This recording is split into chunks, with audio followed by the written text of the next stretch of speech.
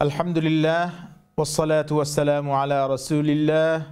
আম্মাবাদ সম্মানিত দর্শক, প্রিয় ভাই বোনেরা, আমাদের ধারাবাহিক আলোচনা, একজন ভালো মুসলমান যা করবে এবং যা করবে না, এই আলোচনার আজকের দ্বিতীয় পর্বে আপনাদের সকলকে স্বাগত জানাচ্ছি। আশা করি আপনারা সকলেই আল্লাহ রাব্বুল আলমিনের মেহরবানিতে অত্যন্ত সুন্দর এবং ভালো আছেন। আল্লাহ রাব্বুল আলমিন আমাদের সকলকে ভালো রাখুন। এই কামনা করে আজকের এই এপিসোডের বিষয়টি আপনাদের সামনে শেয়ার করছি। আজকে আমরা যেটি করব সেটি হচ্ছে যে আমরা প্রথমেই দিন সম্পর্কে এবং একজন মুসলমানের পরিচয় এবং তার আল্লাহর সাথে কী ধরনের সম্পর্ক হওয়া উচিত সেটি আমরা বলেছি। আজকে আমরা যেটি করব সেটি হচ্ছে যে একজন ভালো মুসলমান হতে হলে এই মুসলমানের কাছ থেকে তার ব্যক্তিগত চরিত্রিক বা চারিত্রিক যেই গুণাবলীগুলো আমাদের সামনে দরকার এবং সে একজন ভালো মুসলমান হতে হলে তার কথা এবং কাজের মধ্যে কী ধরনের সামঞ্জস্য দরকার এবং সেই সামঞ্জস্যহীনতার কারণে আজকে ভালো মুসলমানদেরকে আমরা খুঁজে পাচ্ছি না। সেজন্যে আজকের মূল বিষয় যেটি আমরা আলোচনা করব সেটি হচ্ছে ব্যক্তিগত চরিত্র। অর্থাৎ একজন মুসলমানের ব্যক্তি চরিত্রটা কীরকম হওয়া উচিত সেটারই কিছু দিক আমি আপনাদের সামনে তুলে ধরব। প্রথম হচ্ছে যে, একজন ভালো মুসলমান তার কথা সুন্দর হবে। সে মিথ্যা কথা বলবে বলবে না। সে মুখের মাধ্যমে, তার কথার মাধ্যমে অন্য কোনো মানুষকে কষ্ট দিবে না। এজন্যে আল্লাহ রসুলের কাছে একজন সাহাবি তিনি জিজ্ঞেস করেছেন, আবু মুসা আল্লাহ আশারি রদি আল্লাহ তালানহু এই হাদিসটি বোখারি এবং মুসলিম দোনো কিতাবই এসেছে। এটি সাহি হাদিস। আল্লাহ রাসুলকে জিজ্ঞেস করছেন যে, ইয়া রাসুল আল্লাহ আইয়ুল মুসলিমিনা আফদল? ভালো মুসলমান কারা? তিনি বললেন যে, যারা, যাদের হাত এবং মুখ থেকে অন্য মানুষ নিরাপদ। মান সালিম আল মুসলিমুনা মিন লিসানিহি ওয়াদি অর্থাৎ দেখুন, আল্লাহ রসুলের সাহাবিরা ভালো মুসলমান কীভাবে হওয়া যায়, সেটার জন্য কিন্তু ওনারা সবসময় প্রস্তুত ছিলেন, সচেষ্ট ছিলেন নিজেদের এই চারিত্রিক গুণকে উন্নত করার জন্য। তাহলে এই হাদিস থেকে আমরা যেটি পেলাম, সেটি হচ্ছে যে ভালো মুসলমান তার নিজের কথা দিয়ে অন্য কোনো মানুষকে জিহবা দিয়ে অন্য কোনো মানুষকে কি করবে না? সে আঘাত করবে না। সে তার এই জিহবার মাধ্যমে এটাকে সঠিকভাবে ব্যবহার করবে। এখন জিহবার মাধ্যমে এর যেই অসৌজন্যমূলক যেই ব্যবহার এবং এটির যেই ব্যবহার হওয়া উচিত নয়, সেগুলোর মধ্যে থেকে যদি আমরা তাকাই তাহলে একটি গুরুত্বপূর্ণ জিনিস হচ্ছে মিথ্যা না বলা। একজন ভালো মুসলমান মিথ্যা কথা বলবে না।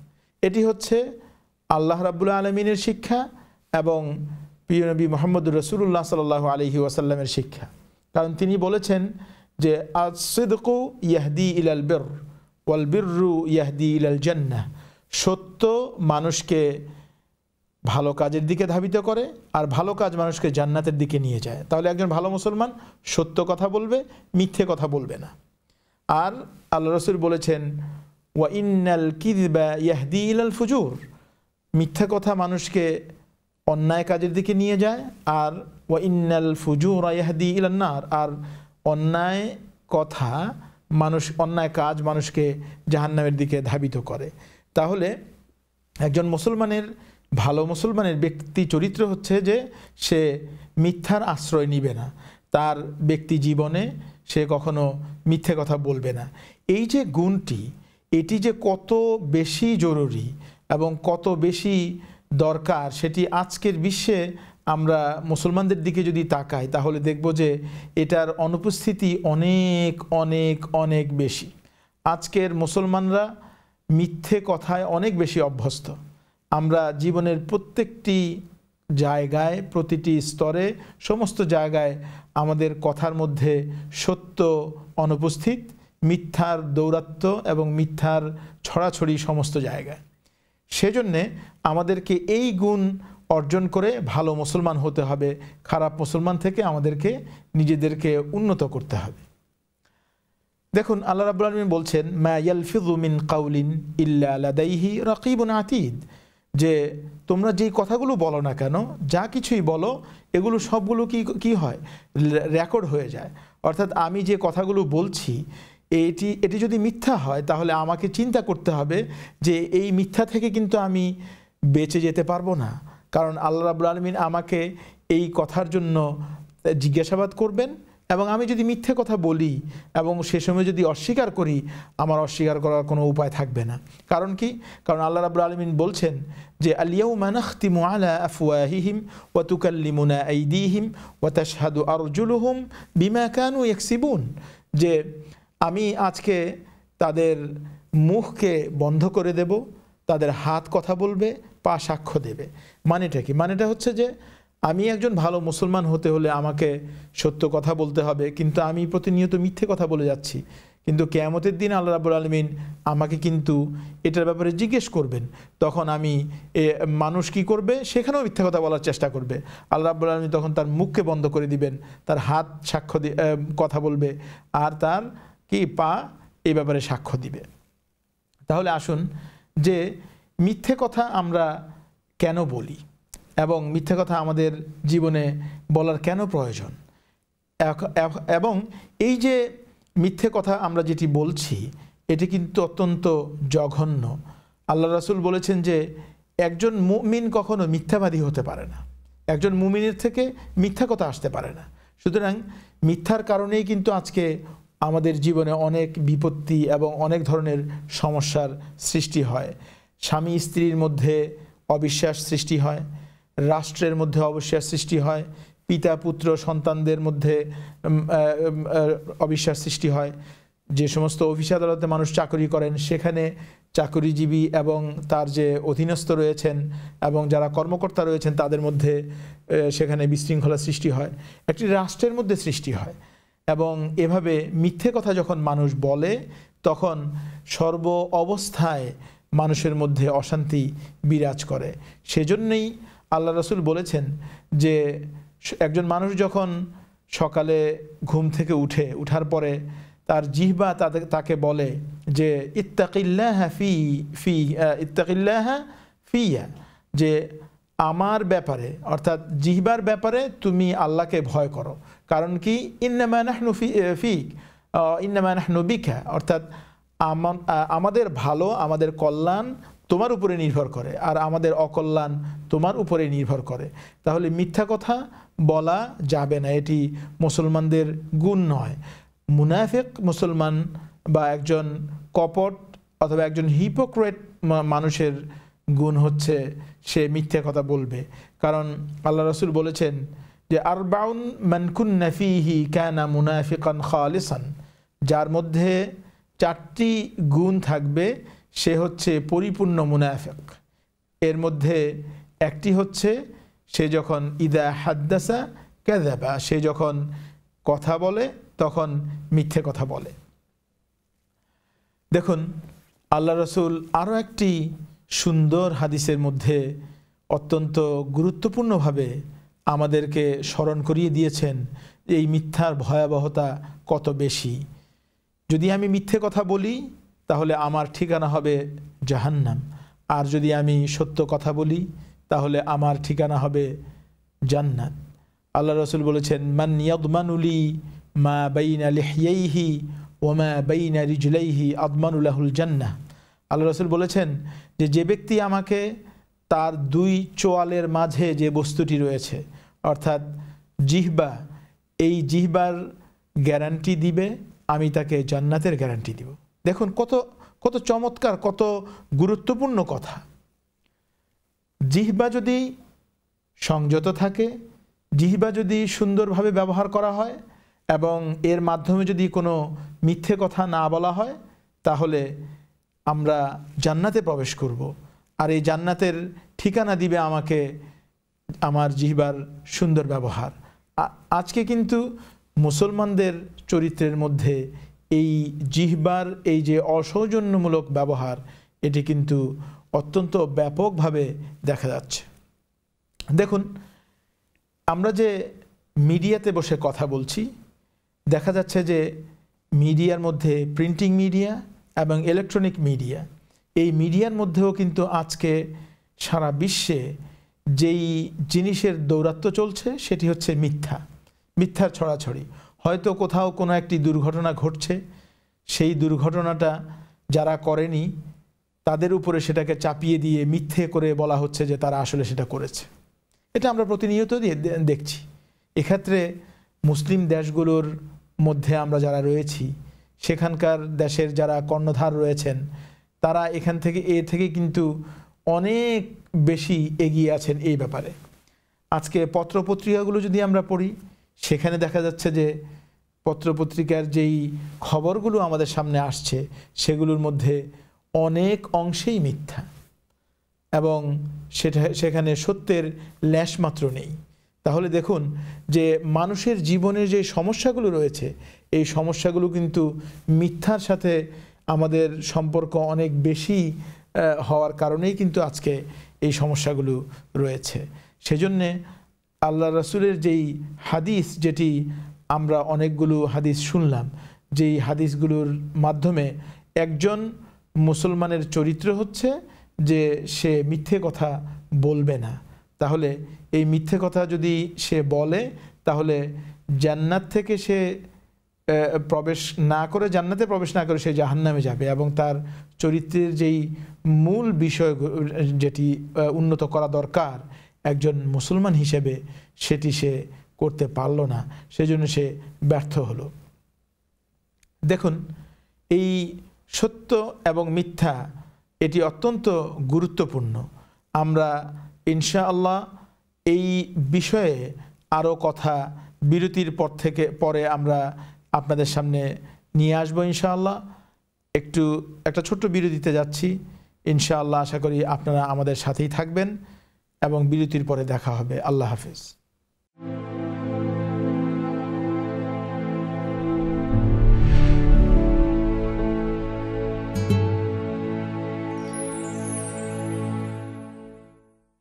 সম্মানিত দর্শক, প্রিয় ভাই বোনেরা, বিরতির পর আবারও আপনাদের সামনে উপস্থিত হয়েছি। আজকে আমাদের বিষয় ছিল ব্যক্তি চরিত্র উন্নত করা। একজন মুসলমান হিসেবে, একজন ভালো মুসলমান হিসেবে যদি আমরা নিজেদেরকে উপস্থাপন করতে চাই, তাহলে আমাদের জীবন থেকে মিথ্যার যেই অবদান রয়েছে বা মিথ্যা কথা যেটা যেগুলো রয়েছে সেগুলোকে ঝেড়ে ফেলে দিতে হবে। এবং এই মিথ্যার কারণেই কিন্তু অনেক বিপত্তি হয়। আমরা জানি যে আমরা আমাদের ছোট বাচ্চাদেরকে অনেক সময়ে অনেক কিছু ওয়াদা করি এবং আমরা বলি যে, তুমি যদি এই কাজটি করো, তাহলে আমি তোমাকে সুইট দিব। অথবা আমি তোমাকে এই কাজটি করে দেব, অথবা আমি তোমাকে একটা হলিডেতে নেব, অথবা অন্য কোনো ধরনের কোনো কাজ করব, করে দেব, কিন্তু আমরা পরে করি না। এটি অত্যন্ত জঘন্য কাজ। আল্লাহ রসুল বলেছেন যে যারা এই কাজটি করে, তারা মিথ্যে কথা বলছে। দেখুন, আজকে এই পশ্চিমা সমাজে আমাদের ছেলে মেয়েদেরকে বড় করা নিয়ে, আমাদের ছেলে মেয়েদেরকে ভালো কাজ শিক্ষা দেয়া নিয়ে আমরা সকলেই কিন্তু এটা নিয়ে কম বেশি সমস্যায় ভুগছি। সেক্ষেত্রে যদি আমাদের চরিত্রের মধ্যে আমরা যখন তাদেরকে বড় করব, শিক্ষা দেব, সেখানে যদি মিথ্যা থাকে, তাহলে এ আমার বাচ্চারা কিন্তু আমাদের কাছ থেকে মিথ্যা শিখবে। সুতরাং আমরা এটা করতে পারব না। এটা হলো এক নম্বর। দুই নম্বর হচ্ছে যে এক একটা রাখাল বালকের মিথ্যার কথা আমরা সকলেই জানি যে সে এটি হাদিসেও এসেছে যে বনি ইসরায়েলের মধ্যে এরকম ছিল যে সে রাখাল বালক গ্রামের মানুষকে ধোকা দেওয়ার জন্য সে মিথ্যা কথা বলে বাঘ বাঘ বলে চিৎকার করেছিল। কিন্তু মানুষ যখন তার সাহায্যে আসলো, তখন দেখল যে আসলে বাঘ নেই, সে তাদের সাথে মিথ্যে কথা বলেছে। তখন এভাবে সে অনেকবার মিথ্যে কথা বলে মানুষকে ধোকা দিল। ধোকা দেওয়ার পরে কি হলো? সে এক পর্যায়ে যখন একবার সত্যিকার অর্থেই বাঘ চলে আসলো, তখন সে যখন বাঘ বাঘ বলে মানুষের সাহায্য কামনা করল, মানুষ আর তার সাহায্যে এগিয়ে আসেনি। কারণ তারা অভ্যস্ত হয়ে গিয়েছে যে এ আসলে মিথ্যেবাদী। তারপরে কি পরিণতি হয়েছে সেটা আমরা সকলেই জানি। আব্দুল কাদের জিলানি রাহেমাহুল্লাহ একজন বিশিষ্ট আবেদ এবং তিনি তার ছোটবেলার যে ঘটনা আমাদের আমরা জেনেছি, সেটি হচ্ছে যে তার মা তাকে বাগদাদে লেখাপড়া করার জন্য পাঠিয়েছিলেন এবং তার জামার একটা গোপন জায়গায় গোল্ড কয়েন্স তিনি সিলাই করে দিয়েছিলেন। পথে যখন এই কাফেলা ডাকাতের আক্রমণের শিকার হয়, তখন এই ছোট বালক ডাকাতের সর্দারের কাছে, তার কাছে কোনো স্বর্ণ মুদ্রা বা কোনো কিছু আছে কি না সে কিন্তু মিথ্যে কথা না বলে সত্য কথা বলেছিল। আর এর প্রতিদান স্বরূপ কি হয়েছে? ওই কাফেলার সকলে ইসলাম গ্রহণ করেছে। দেখুন কত চমৎকার এবং কত সুন্দর ফলাফল। আজকে আমরা যারা ইউরোপে বসবাস করছি, আমরা অনেকেই শঙ্কিত যে আমাদেরকে নিয়ে মিডিয়া অনেক কথা বলে, আমাদেরকে নিয়ে রাজনৈতিক নেতৃবৃন্দ অনেক কথা বলে, আমাদেরকে সন্দেহের চোখে দেখে, আমাদেরকে তারা বের করে দিতে চায়, আমাদেরকে বিভিন্নভাবে ডিসক্রিমিনেশনের শিকার করতে চায়। দেখুন, এটা কি আসলে আমরা কি তাদেরকে দোষ দেব? নাকি আমাদের নিজেদেরকে আত্মসমালোচনা করা দরকার? আসলে আমাদের নিজেদেরকে আত্মসমালোচনা করা দরকার। আমরা তাদের সামনে আমাদের চরি- চারিত্রিক কী গুণাবলী উপস্থাপন করেছি যে তারা আমাদেরকে বিশ্বাস করে, আমাদেরকে তারা অত্যন্ত সম্মান করবে? দেখুন, আমরা আমাদের জীবনে চলতে গিয়ে অনেক মিথ্যে কথা বলি, মিথ্যে সাক্ষী দেই। অন্য মানুষের ব্যাপারে আমরা মিথ্যে কথা বলি। যখন আমরা কোনো বেনিফিট ক্লেম করতে যাই, সেখানে আমরা মিথ্যে কথা বলি। আমরা যখন কোথাও গিয়ে আমাদের নাম রেজিস্ট্রেশন করি, সেখানে মিথ্যে কথা বলি। আমাদের গাড়ির জন্য লাইসেন্স করি, সেখানে আমরা মিথ্যে কথা বলি। আমাদের জিপি রেজিস্ট্রেশন করি, সেখানে আমরা মিথ্যে কথা বলি। আমাদের চাকরির ইনকামের ব্যাপারে আমরা মিথ্যে কথা বলি। তাহলে সমস্ত জায়গায় কি? একজন ভালো মুসলমান যেখানে থাকা, থাকার কথা ছিল, সেই ভালো মুসলমান কিন্তু আর সেখানে নেই। সেখানে আছে একজন কপট, মিথ্যেবাদী মুসলমান। সুতরাং এই কপট, মিথ্যেবাদী মুসলমানকে কারা গ্রহণ করবে? আর শুধু তাই নয়, মিথ্যা সাক্ষী দেয়। দেখুন, আমি এরকম দেখেছি যে, এই দেশে যখন আপনি গাড়ি ড্রাইভ করছেন, তখন ওই গাড়ি ড্রাইভ করতে গিয়ে আপনার যখন অ্যাক্সিডেন্ট হয় অ্যাক্সিডেন্ট হলে তখন দেখা যায় যে অ্যাক্সিডেন্ট করার পরে অ্যাক্সিডেন্টটা আসলে দোষ কার ছিল? এ ব্যাপারে আমরা মুসলমানরা সত্য কথা বলতে সবসময় কি হয়েছি? ব্যর্থ হয়েছি।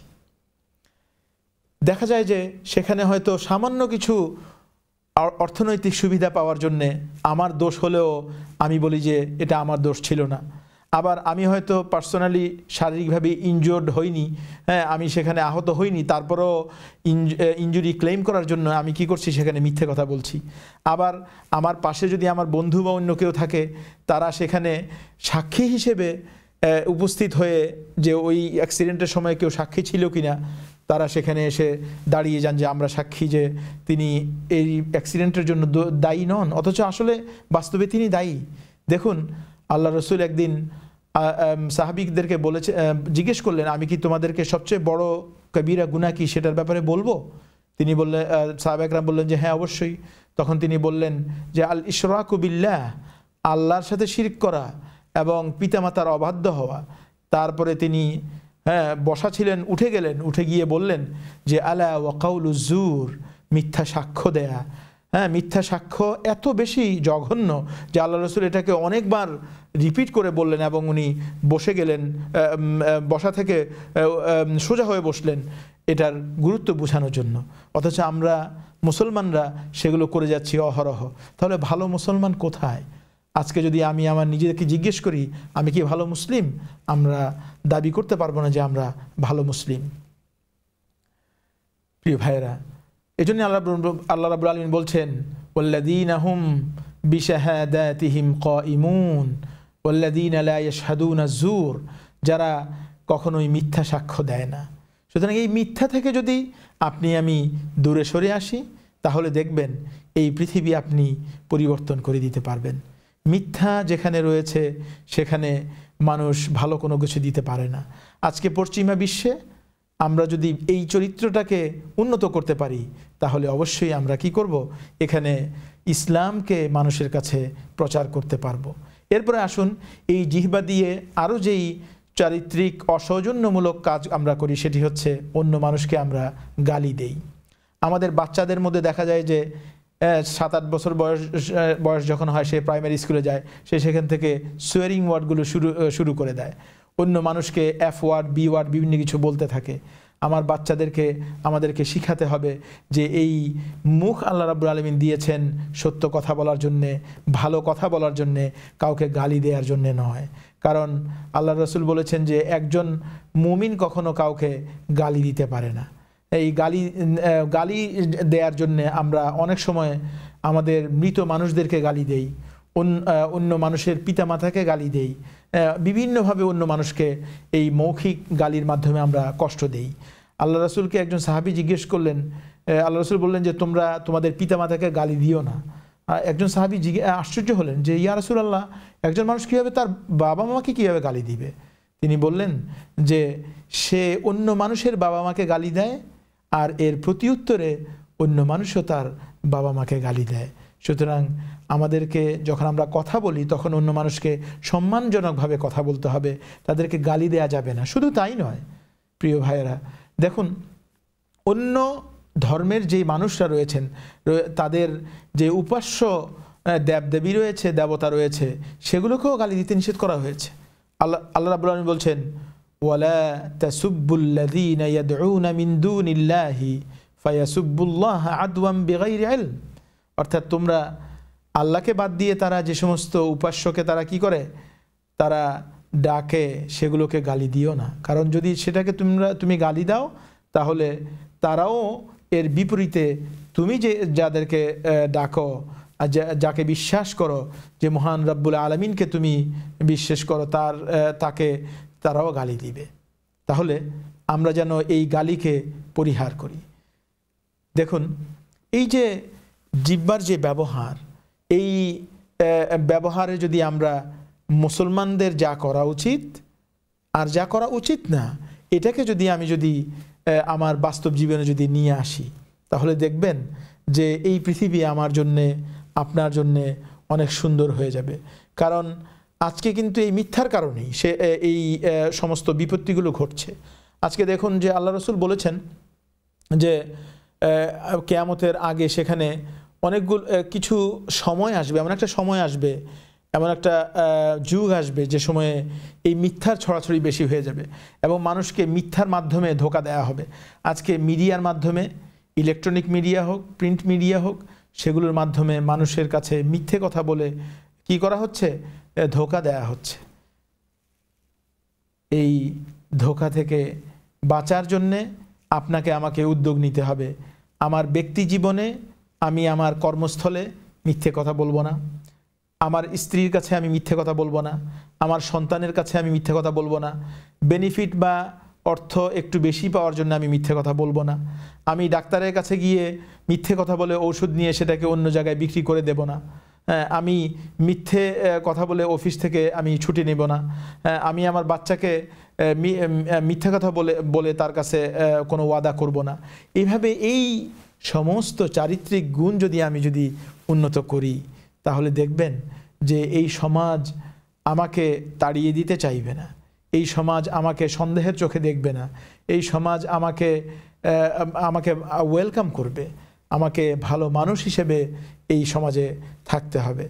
দেখুন, এজন্যেই ইমাম মোহাম্মদ ইবনে আব্দু বলেছিলেন যে, আমি পশ্চিমা জগতে ইসলাম দেখেছি, মুসলমান দেখিনি। কিন্তু প্রাচ্যে পূর্বের দেশগুলোতে আমি মুসলমান দেখেছি, কিন্তু ইসলাম দেখিনি। দেখুন, এই দেশে যারা ভালো মানুষ রয়েছে, তারা কিন্তু মিথ্যে কথা বলে না। এবং এই মিথ্যে কথাকে যারা বলে, তাদের তাদেরকে তারা অত্যন্ত ঘৃণা করে। এবং মিথ্যে কথা যদি আপনি কখনো বলেন, তাহলে পরবর্তীতে আপনার সাক্ষ্য বা আপনি কোনো ভালো কোনো পজিশনে আপনি যেতে পারবেন না। এবং আপনার লাইফ রেকর্ডের মধ্যে এই মিথ্যে, মিথ্যার একটা কি? একটা রেকর্ড সেখানে সেখানে থেকে যাবে। এবং আপনি ভবিষ্যতে বেশি ভবিষ্যতে আপনি বেশি সামনে যেতে পারবেন না। সুতরাং, প্রিয় ভাইয়েরা, আসুন, আমরা আল্লাহ রাবুল আমাদেরকে এই কথার যে বলার যে নিয়ামত দিয়েছেন, এই নিয়ামতকে সুন্দরভাবে ব্যবহার করে আমরা ভালো মুসলমানে পরিণত হই। একজন ভালো মুসলমানের জন্য যা বর্জনীয়, সেটা আমরা ছেড়ে দেই। আসুন, আগামী পর্বে আবারও আপনাদের সাথে দেখা হবে। সে পর্যন্ত আল্লাহ রাবুল আলমী আপনাদের সকলকে ভালো রাখুন, সুস্থ রাখুন। আল্লাহ হাফিজ।